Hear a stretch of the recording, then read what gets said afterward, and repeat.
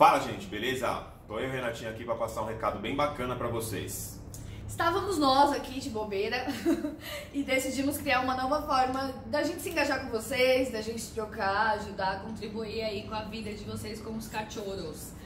Então, o nome do programa é Se o seu cachorro fosse o Santista, o que nós faríamos? É, então, para você que tem alguma dúvida relacionada a treino, relacionado ao comportamento que seu cachorro está tendo, é, informações, seja lá sobre o que for, pode mandar pra gente. Então, a gente vai deixar o e-mail aqui no post para quem tiver interesse. Aí manda lá e-mail pra gente com o máximo de informação possível para que a gente possa de fato ajudar vocês.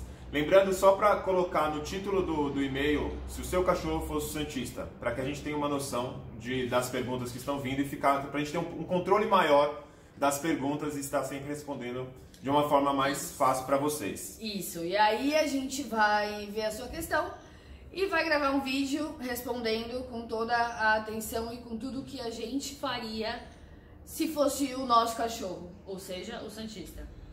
E aí você vai poder analisar a resposta, ver o que serve para você, se o que a gente faria é o mesmo que você faria, ou que você tá afim de fazer, ou que você descobriu que você pode fazer certo?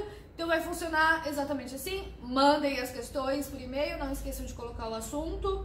É... Se inscreva no canal do YouTube, porque aí você vai ter a, toda a notificação quando a gente colocar alguma resposta, você vai ter uma, é... vai receber a notificação e vai ser a sua pergunta a resposta. Exatamente. Se inscreve no nosso canal e aí a gente vai dar a resposta para vocês. É isso. Certo? Então Manda. bora. Enche lá a de pergunta que nós vamos responder todas, sem exceção. Bora!